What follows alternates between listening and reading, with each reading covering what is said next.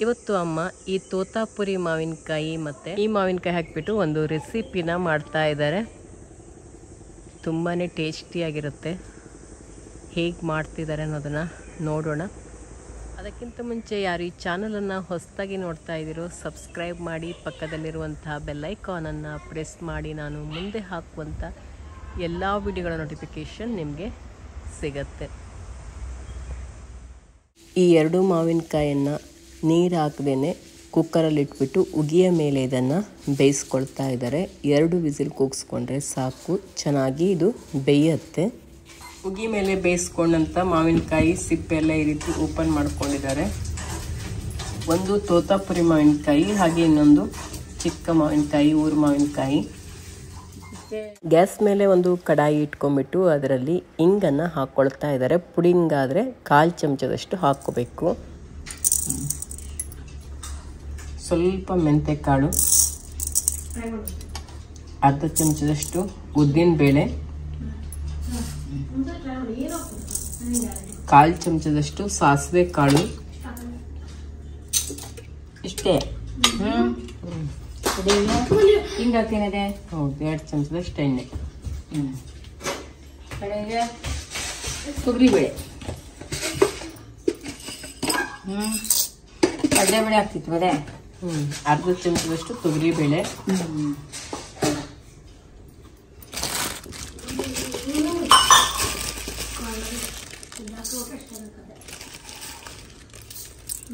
ಎಳ್ಳು. ಒಂದೂವರೆ ಚಮಚದಷ್ಟು ಎಳ್ಳು ಬಿಳೆ ಎಳ್ಳು.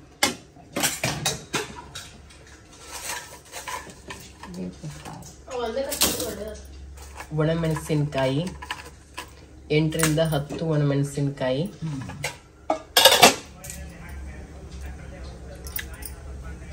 ಸ್ವಲ್ಪ ಕರಿಬೇವಿನ ಸೊಪ್ಪು.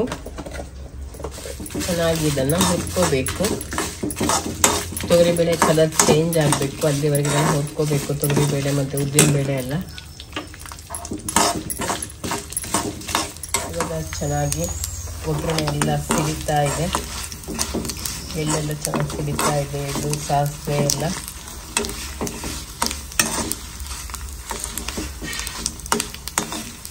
ಇದಕ್ಕೆ ಕಾಯಿ ತುರಿಯನ್ನು ಸೇರಿಸ್ಕೊಳ್ತಾ ಇದ್ದಾರೆ.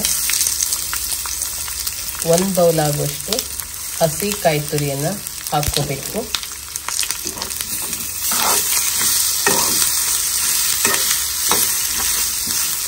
ಕಾಯಿ ತುರಿ ಕೂಡ ಸ್ವಲ್ಪ ಹುರ್ಕೊಂಡ್ರೆ ಒಳ್ಳೆ ಪರಿಮಳ ಬರುತ್ತೆ ಮತ್ತು ಒಳ್ಳೆ ಟೇಸ್ಟ್ ಕೊಡುತ್ತೆ.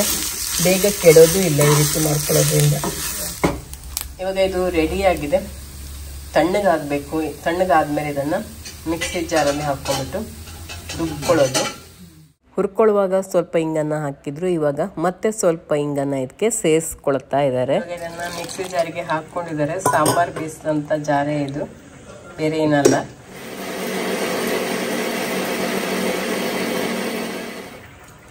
ಇದಕ್ಕೆ ಮಾವಿನಕಾಯಿನ ಚೆನ್ನಾಗಿ ಗಿವ್ಚ್ಕೋಬೇಕು ಮೊದಲು. ಗಿವ್ಚ್ಕೊಂಡ್ಬಿಟ್ಟಿದ್ರೆ ಒರಟೆಯನ್ನು ತೆಕ್ಕೊಂಡು ಆ ನಂತರ ಇದನ್ನ ಬೀಸೋದಿಕ್ಕೆ ಹಾಕೋಬೇಕು ಇನ್ನು ಒರಟೆ ಎಳೆದೇ ಇದೆ ಇದು.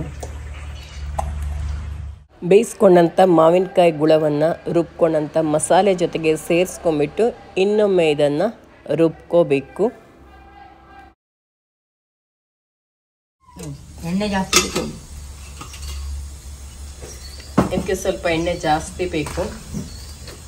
ನಾಲ್ಕರಿಂದ ಐದು ಚಮಚ ಆಗುವಷ್ಟು ಎಣ್ಣೆಯನ್ನು ಹಾಕೋಬೇಕು ಹಾಗೆ ಬ್ಯಾಡಿಗೆ ಮೆಣಸನ್ನು ಕಟ್ ಮಾಡಿ ಹಾಕ್ಕೋಬೇಕು ಒಂದು. ಕಾಲು ಚಮಚಷ್ಟು ಸಾಸಿವೆ ಕಾಳು ಕಾಲು ಚಮಚದಷ್ಟು ಉದ್ದಿನ ಬೇಳೆಯನ್ನು ಹಾಕ್ಕೋಬೇಕು. ಹಾಗೆ ಸ್ವಲ್ಪ ಕರಿಬೇವಿನ ಸೊಪ್ಪನ್ನು ಹಾಕ್ಕೋಬೇಕು. ಈಗ ಒಗ್ಗರಣೆ ಚೆನ್ನಾಗಿ ಚಟ ಚಟ ಇರ್ಕೊಂತ ಗುಡ್ತಿರುವಾಗ ಈಗ ನೀರನ್ನು ಹಾಕ್ಕೋಬೇಕು ಇದಕ್ಕೆ.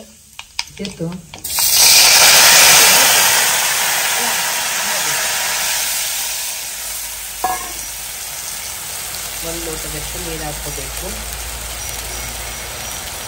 ಆನಂತರ ಇದಕ್ಕೆ ರುಚಿಗೆ ತಕ್ಕಷ್ಟು ಉಪ್ಪನ್ನು ಹಾಕೋಬೇಕು ಅಮ್ಮ ಇಲ್ಲಿ ಸಾಣೆಕಟ್ಟೆ ಉಪ್ಪನ್ನು ಹಾಕ್ತಾ ಇದ್ದಾರೆ. ನೀವು ಕಲ್ಲುಪ್ಪಿದ್ರೆ ಕಲ್ಲುಪ್ಪಾದರೂ ಹಾಕ್ಕೋಬಹುದು ನಮ್ಮೂರ ಕಡೆ ಎಲ್ಲ ಇದೇ ಉಪ್ಪನ್ನೇ ಜಾಸ್ತಿ ಬಳಸೋದು. ತುಂಬ ಒಳ್ಳೆಯದು ಅಂತೇಳಿ. ಈಗ ಬೆಲ್ಲ ಹಾಕ್ತಾ ಇದ್ದಾರೆ. ಬೆಲ್ಲ ಜಾಸ್ತಿನೇ ಬೇಕು ಇದಕ್ಕೆ. ಒಂದು ಕಪ್ ಆಗುವಷ್ಟು ಜೋನಿ ಬೆಲ್ಲವನ್ನು ಇಲ್ಲಿ ಸೇರಿಸ್ಕೊಳ್ತಾ ಇದ್ದಾರೆ. ನಿಮ್ಮ ಹತ್ರ ಯಾವ ಬೆಲ್ಲ ಇದೆಯೋ ಆ ಬೆಲ್ಲವನ್ನು ನೀವು ಹಾಕ್ಕೋಬೋದು. ಮಾವಿನ ಹಣ್ಣಿನ ಕಾಯಿ ರಸ ಮಾಡೋದಕ್ಕೆ ಸ್ವಲ್ಪ ಬೆಲ್ಲ ಜಾಸ್ತಿನೇ ಬೇಕಾಗುತ್ತೆ. ಸಿಹಿ ಹುಳಿ ಖಾರ ಎಲ್ಲ ಸೇರಿದ್ರೆ ಒಳ್ಳೆ ರುಚಿ.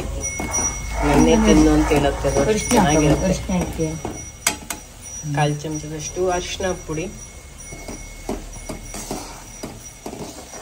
ಈಗ ರುಬ್ಬಿಟ್ಕೊಂಡಂತ ಮಸಾಲೆ ಮಾವಿನಕಾಯಿ ಎಲ್ಲ ರುಬ್ಕೊಂಡಿದ್ದಿದೆಯಲ್ಲ ಅದನ್ನು ಇಲ್ಲಿ ಸೇರಿಸ್ಕೊಳ್ತಾ ಇದ್ದಾರೆ ಇವಾಗ. ಚೆನ್ನಾಗಿ ಕುದಿ ಕುದಿ ಬಂದ ಮೇಲೆ ಬೆಲ್ಲ ಎಲ್ಲ ಚೆನ್ನಾಗಿ ಕರಗಿದ ಮೇಲೆ ಕೈ ಆಡಿಸ್ತಾ ಇರಬೇಕು. ಸ್ವಲ್ಪ ಸ್ವಲ್ಪ ಹಾಕ್ಕೊಳ್ತಾ ಹಾಕ್ಕೊಳ್ತಾ ಹುಟ್ಟನ್ನು ತಿರುಗಿಸ್ಕೊಳ್ತಾ ಇರಬೇಕು.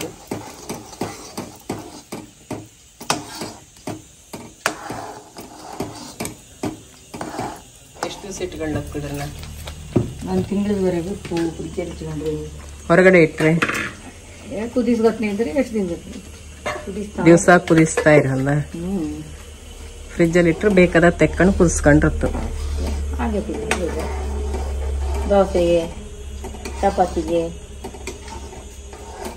ಬಿಸಿ ಬಿಸಿ ಅನ್ನಕ್ಕೆ ಬಿಸಿ ಬಿಸಿ ಅನ್ನಕ್ಕೆ ಬೆಸ್ಟ್ ಕುದ್ದೆಲ್ಲ ಹಾಕೊಂಡು ಹಾಕಿ ನೋಡು ಚಂದ ಒಳ್ಳೆದ ಹೌದು, ಇನ್ನು ಕುದಿ ನೋಡ್ಕೊಂಡು ಇನ್ನೂ ಕಲ್ಲಾಗ್ತದೆ ಮಾವಿನಕಾಯಿ ಕಾಯಿ ರಸ ರೆಡಿ ಆಗಿದೆ ನೋಡಿ ಚೆನ್ನಾಗಿ ಕೊತ ಕೊತ ಕುದಿದಿದೆ ಹಾಗೆಯೇ ಸುತ್ತಲೂ ಇಲ್ಲಿ ತಳ ಬಿಟ್ಕೊಂಡು ಬಂದಿದೆ. ನೀವು ಕೂಡ ಈ ರೀತಿ ಮಾವಿನಕಾಯಿ ಕಾಯಿ ರಸ ಮಾಡ್ಕೊಳ್ಳಿ ತುಂಬ ಚೆನ್ನಾಗಿರುತ್ತೆ. ಒಂದು ತಿಂಗಳ ಕಾಲ ಇಟ್ಕೊಂಡ್ಬಿಟ್ಟು ಇದನ್ನು ತಿನ್ಬೋದು. ಮನೆಯಲ್ಲಿ ಎಲ್ಲರೂ ಕೂಡ ಇಷ್ಟಪಡ್ತಾರೆ ಇದನ್ನು.